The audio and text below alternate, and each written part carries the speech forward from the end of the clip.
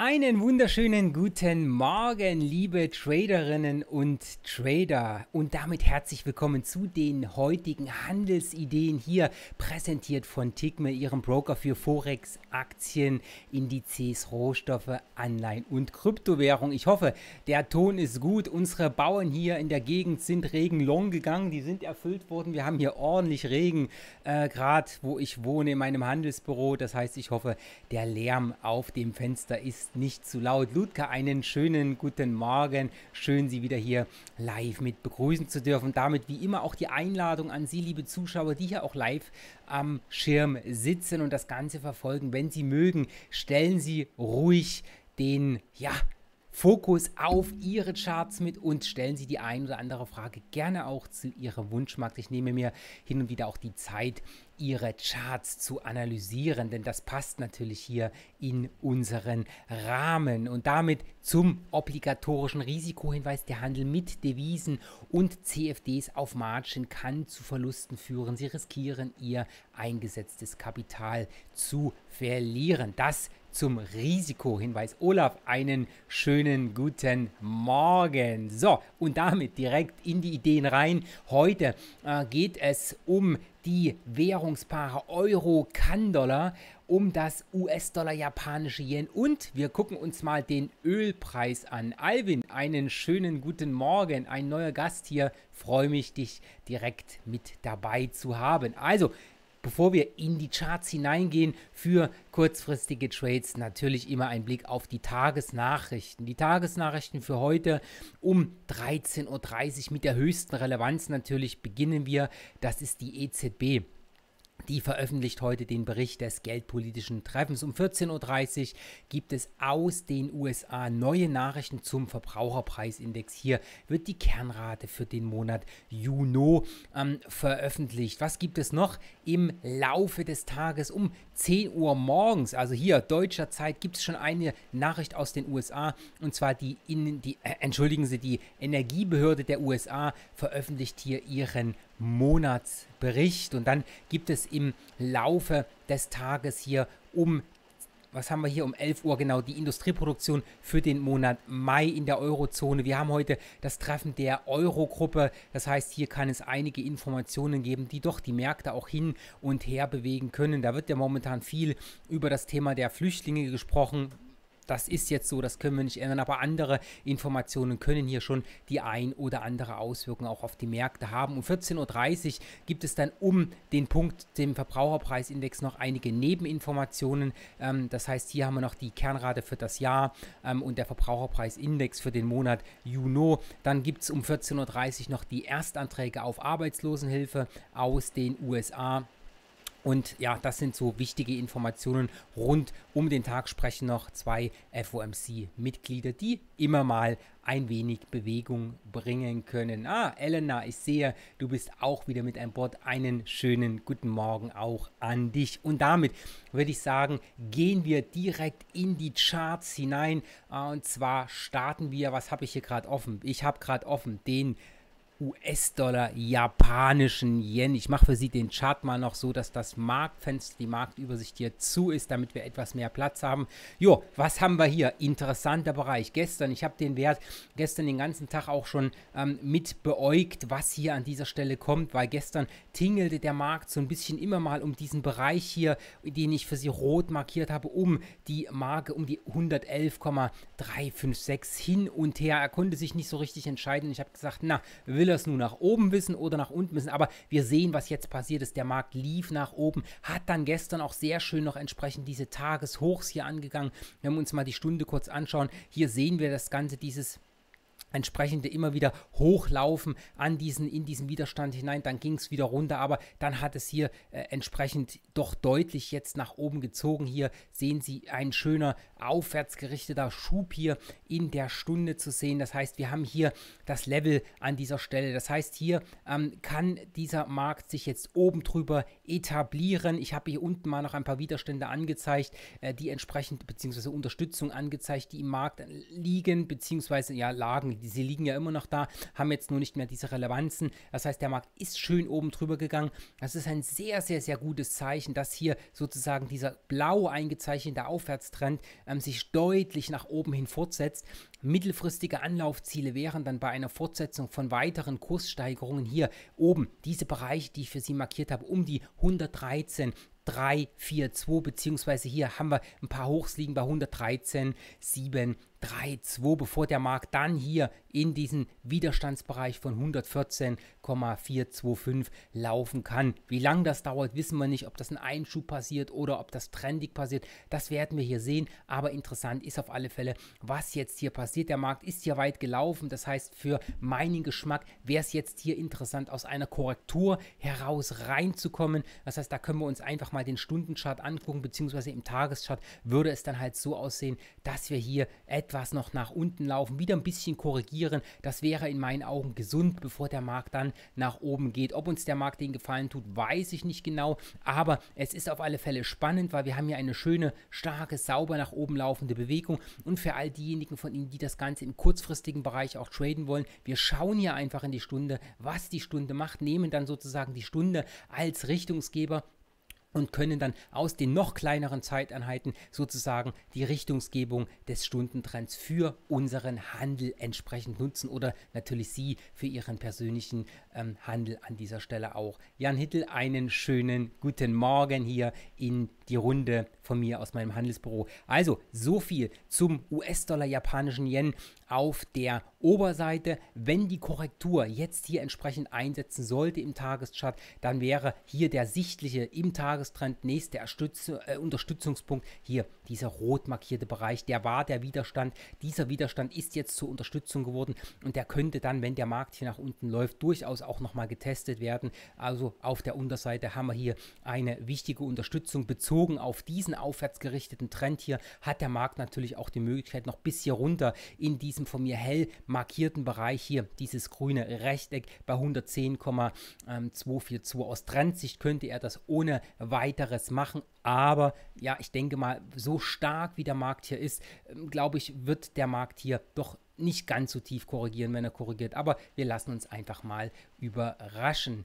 Ähm, Elsem, einen schönen guten Morgen hier aus meinem Handelsbüro auch an Sie. So, und damit gehen wir zum nächsten Währungspaar. Noch mit dem kleinen Hinweis, wenn Sie Fragen haben, scheuen Sie sich nicht direkt rein in den Chart damit und dann können wir alles besprechen, was Sie hier zum Trading auf dem Herzen haben. Wir gehen jetzt in das Währungspaar Euro, kanadischer Dollar. Hier haben wir den Währungschart und der Markt hat hier gestern Interessantes getrieben, beziehungsweise in den letzten Tagen Interessantes getrieben. Wir haben hier einen Aufwärtstrend im Markt liegen. Hier haben wir Bewegung, Korrektur, Bewegung. Jetzt haben wir hier eine tiefe Korrektur gehabt und der Markt lief jetzt hier so ein Stück weit nach oben. Ich mache das mal etwas größer. Wir hatten hier um den Kursbereich von 1,54,395, 1,54,4 ein Limit liegen, beziehungsweise ein, einen Widerstand liegen, wo der Markt noch nicht so richtig drüber gehen wollte, beziehungsweise aktuell auch noch nicht drüber gehen will.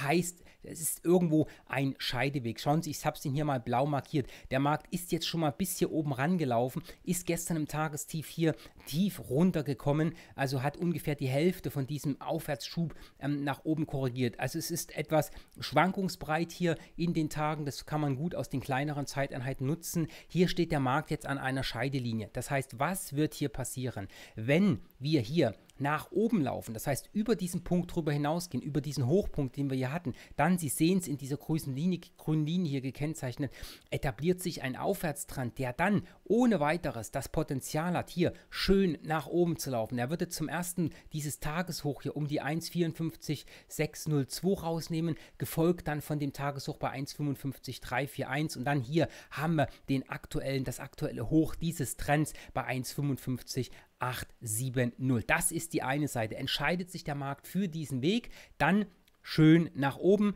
Das wäre ein gutes Zeichen für die jetzt beginnende Trendfortsetzung. Das heißt, da würde die Bewegung schön hier entsprechend auch weiterlaufen.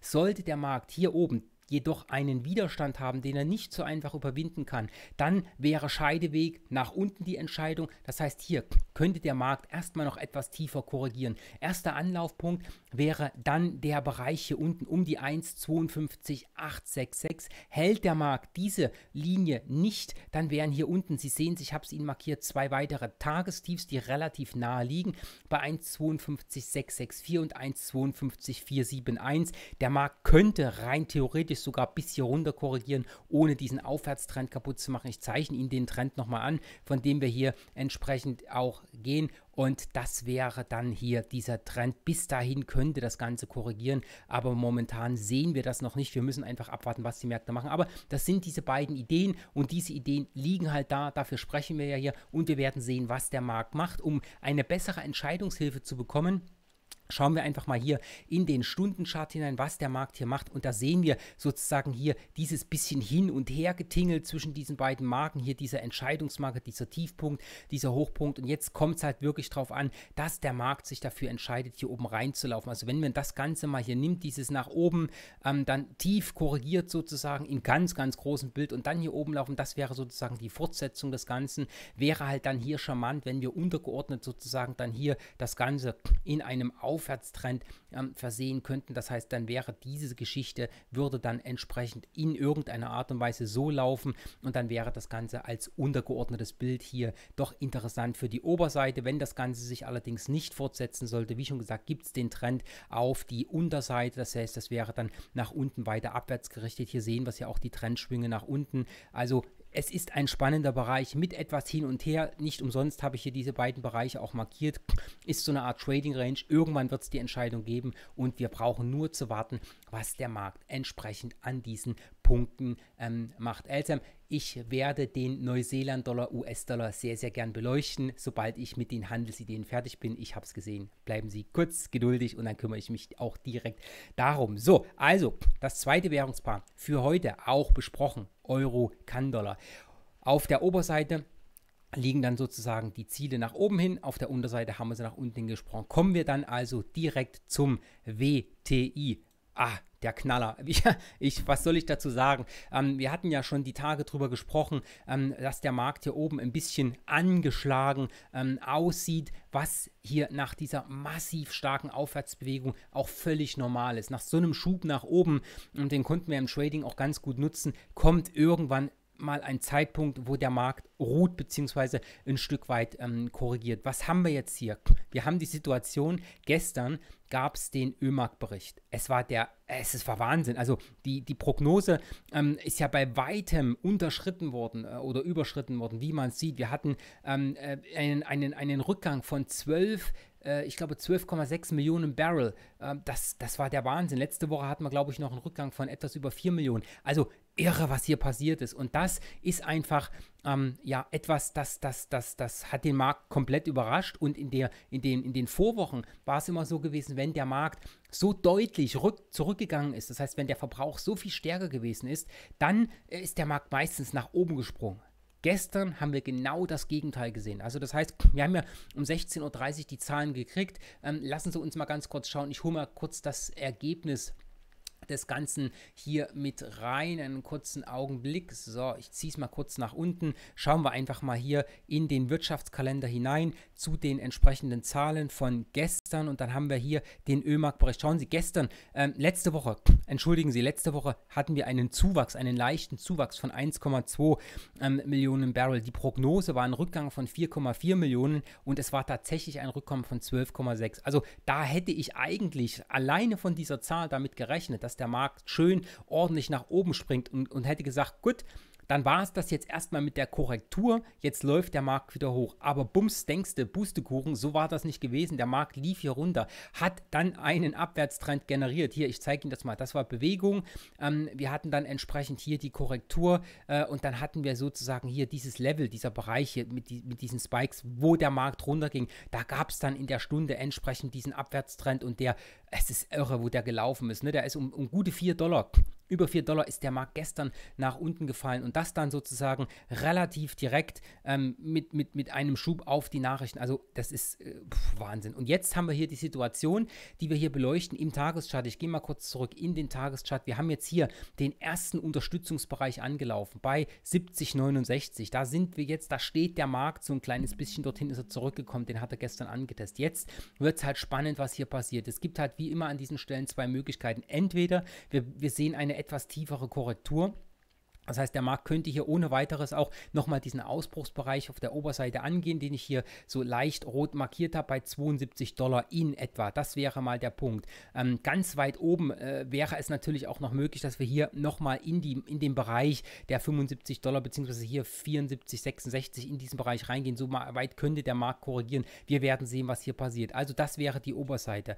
Ähm, es kann aber auch genauso gut passieren und das ist ein Ereignis, was wirklich nicht auszuschließen ist, dass der Markt hier schwach bleibt und wir doch ein deutliches Stückchen noch tiefer korrigieren, dann hätten wir unten noch die nächste Anlaufpunkt von 69,45 beziehungsweise hier die 67, äh, 87. Sie sehen, ich habe diese Unterstützung. Im Normalfall mache ich die ja grün, die Unterstützung, aber hier sind sie wieder magentafarben. Das kommt daher, weil ich die untergeordnete Zeiteinheit mir rausgesucht habe. Das heißt, da habe ich mir den Stundentrend mit zur Hilfe genommen, um einfach wichtige Anlaufpunkte zu sehen. Und da sehen Sie mal, hier waren im Endeffekt Unterstützungsbereiche, ganz leichte wo der Markt ranlaufen kann. Hier haben wir ein Ausbruchslevel bei 69,45 und hier unten haben wir ein Korrekturtief dieses Aufwärtsschubs hier nach oben bei 67,87. Das wären die Punkte auf der Unterseite. Und hier ist es jetzt halt wirklich sehr, sehr spannend für das kurzfristige Trading. Was macht der Markt jetzt hier in der Stunde? Gucken wir uns das nochmal an. Also wir sehen hier ganz leicht einen Aufwärtstrend gebildet als Gegenbewegung. Der korrigiert jetzt gerade. Und das,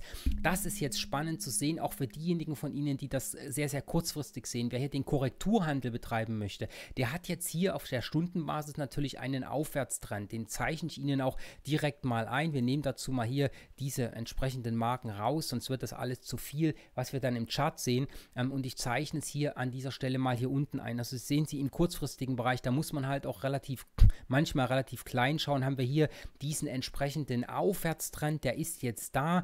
Und das schauen wir uns einfach mal in den kleinen Zeiteinheiten an, in den fünf Minuten. Da sehen Sie, es ist nicht wirklich viel, was hier kommt. Ne? Das heißt, der Markt ist hier runtergelaufen, jetzt korrigiert er hier hoch an dieser Stelle. Und dieser Korrekturtrend wäre sozusagen in den fünf Minuten erst einmal ähm, gebrochen, wenn wir hier über diesen, hoppala, über diesen na, über diesen Punkt hier oben laufen, äh, wo der Markt hier schon rangelaufen ist, also an die knapp 71 US-Dollar. So. Und wenn der Markt jetzt wieder hier nach oben dreht, dann wird es sich sozusagen dieser Trend in den fünf Minuten nach oben etablieren und wir hätten hier ein bisschen Anlaufpunkt für entsprechenden Markt nach oben. Das heißt, wenn es der Markt schafft, tatsächlich hier in etwas Korrekturmodus zu gehen, haben wir hier die Chance, etwas nach oben zu laufen. Das muss man dann wirklich sehen, wie es der Markt macht. Das wäre dann sozusagen, wenn man es von der technischen Seite her betrachtet, so der klassische Korrekturhandel. Aber die Stunde steht definitiv ähm, entsprechend hier gegen uns. Das heißt, wir müssen einfach schauen, ähm, was hier passiert. Aber Sie sehen ja, es ist an dieser Stelle auch für beide Handelsseiten, für die Long-Richtung als auch die Short-Richtung der Markt, es ist was drinnen.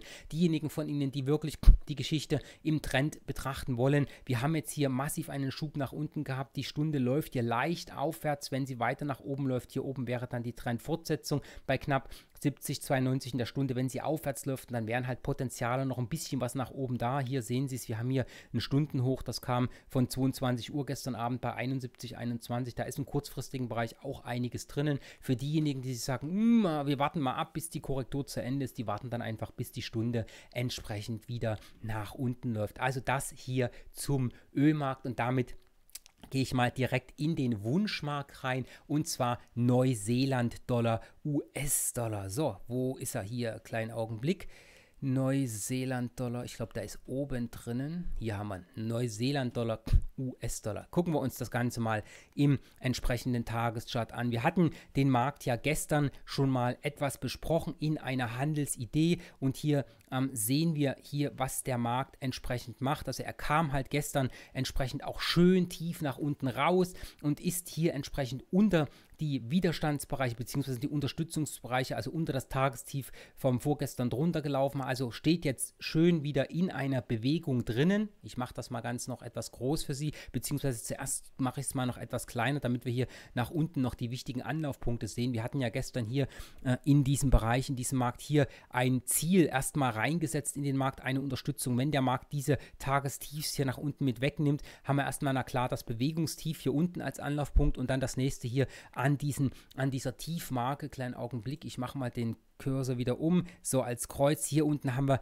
eine, eine, einen Bereich, wo der Markt ohne weiteres auch noch ranlaufen kann. Das wären dann hier unten, so die liegen relativ eng aneinander. Ich hoffe, das können Sie so ein bisschen gut erkennen. Da haben wir einiges liegen, was da noch am Markt abgefischt werden könnte. Heißt, ich zoome das jetzt wieder für Sie groß. Gucken wir uns das Ganze mal an. Also was wir hier jetzt haben, ist halt der Markt. Gestern hat er schön das gemacht, was wir sozusagen entsprechend auch wollten, was wir hier nach unten hin ähm, partizipiert haben oder antizipiert haben in diesem Schwung nach unten. Das Tagestief hier ist abgeholt worden. Jetzt kann bei weiter abwärts laufender Dynamik hier natürlich das nächste Tagestief bei 0,67362 angelaufen werden, bevor wir dann hier in diesen Bereich unten reingehen, um dieses Bewegungstief hier bei 0,66 882 und hier mit Blick in den Stundentrend, da sehen wir auch, kleiner Augenblick, auch hier zoome ich das Ganze nochmal für Sie rum, dass wir einen schön wunderbar laufenden Abwärtstrend haben, ja, der momentan etwas in seine Korrektur hereinläuft, also das ist alles sehr, sehr, sehr gesund, was wir hier sehen. Und hier wäre es jetzt halt spannend zu sehen, was macht der Markt denn weiter, das heißt, wie geht es weiter? Interessant wäre es, wenn wir hier einfach den Hochlauf sehen, bis wohin auch immer. Das werden wir wirklich sehen und dann entsprechend einen Rücklauf hier nach unten. Und da ist es immer interessant, äh, wenn man sich mal die nächst kleinere Zeiteinheit noch anschaut. Das heißt, wenn wir uns hier mal beispielsweise die 5 Minuten anschauen, dann sehen wir hier jetzt sozusagen sehr, sehr schön den Schub nach oben, den wir jetzt haben. Jetzt läuft der Trend in den 5 Minuten erstmal aufwärts. Also das ist das, was wir entsprechend sehen wollen. Ne? Sie sehen ja hier die Trendbewegung entsprechend nach unten. Ähm, jetzt ist die dieser Trend hier gebrochen worden. Der Markt läuft hier schön nach oben. Und wenn dieser 5 Minuten Aufwärtstrend dann irgendwann beendet ist, das ist dann ein Zeichen für die Umkehr der Nachfrage. Und dann wäre es für mich wieder Zeit hier das Ganze anzupacken, auf die Unterseite zu traden, weil dann drehen die 5 Minuten wieder in Richtung der Stunde und die Stunde läuft dann in Richtung des Tages. Und das wäre dann damit hier, das, dann laufen die 5 Minuten wieder runter in der Stunde und wenn wir uns die Stunde anschauen, die Stunde läuft dann wieder nach einer kleinen Korrektur in Richtung des Tages rein, das wäre dann an dieser Seite eine sehr, sehr interessante Situation, was aus technischer Sicht, wenn wir einen rein technisch getriebenen Markt haben, natürlich sehr, sehr interessant. Was hier an dieser Stelle natürlich noch wichtig ist, ist mal zu schauen, ob es denn heute noch wichtige Nachrichten am Markt in Neuseeland bzw. Kanada gibt. Da können wir einfach noch mal ähm, kurz in den Wirtschaftskalender hier hineinschauen.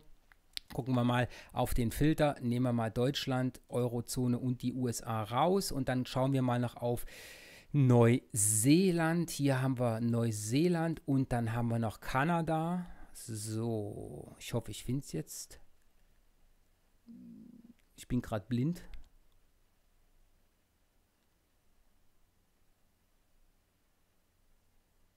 Ne, ich sehe Kanada gerade nicht. Okay, ähm, das will ich jetzt hier nicht zu weit ähm, entsprechend ausdehnen.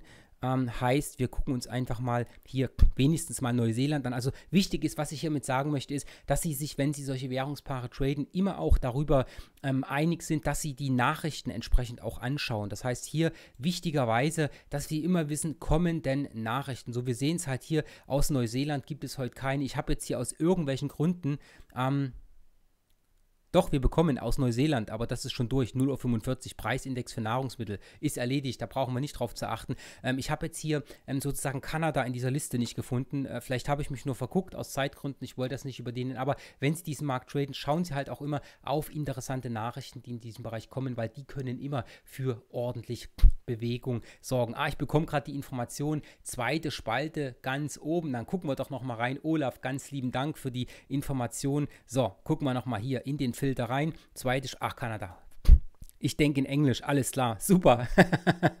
das ist manchmal so, wie es ist. So, gut, das Hirn tickt halt, wie es tickt. Und wir haben jetzt hier ähm, wir bekommen aus Kanada den Preisindex für neue Häuser. Puh, ja gut, ich glaube nicht, dass das so massiven Auswirkungen haben ähm, sollte auf die Märkte. Aber haben Sie es mal im Rahmen. Ich habe zu wenig Erfahrung, ob das jetzt wirklich massive Auswirkungen auf, den, auf dieses Währungspaar haben kann. Es ist da, die Nachricht kommt. Wir werden sehen, was der Markt daraus macht. Und an dieser Stelle hoffe ich wieder ein paar interessante Einblicke für Sie gegeben zu haben. Ähm, ich wünsche Ihnen gute Trades. Morgen ist wieder Freitag. Da schauen wir auf die Wochenvorschau der Nachrichten. Wir schauen uns mal an, was bei den großen Indizes passiert ist. Und im edukativen Teil, da gibt es diesmal etwas mehr Praxis. Wir hatten ja letzte Woche das Trading der Non-Farm Payrolls. Ähm, und diese Woche möchte ich Freitag einfach mal in die NFP-Daten reinschauen und mit Ihnen gucken, was kann man denn mit diesen Daten überhaupt alles anfangen? Welche, sage ich mal, Indikatoren stehen da drin und was kann entsprechend für die langfristige Entwicklung an den Märkten daraus auch antizipiert werden. Und damit sage ich für heute